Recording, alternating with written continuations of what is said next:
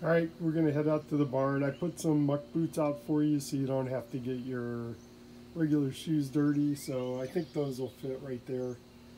And we're just gonna head out. There's Jacob.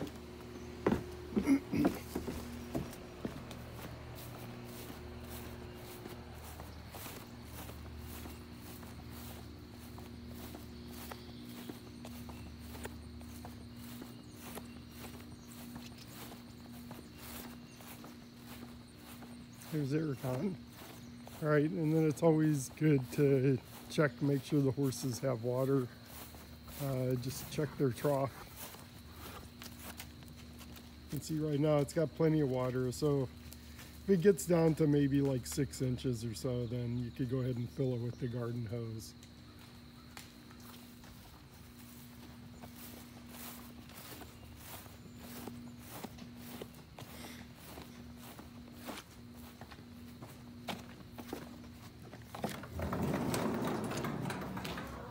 And if you turn just to the left, the light for the lights are right up here.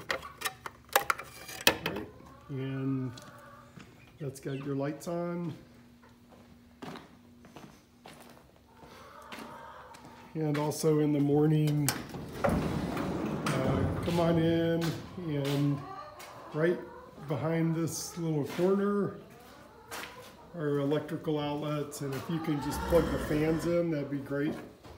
There's two two cords here. And uh, if you can just go ahead and plug them in you'll hear the fans start.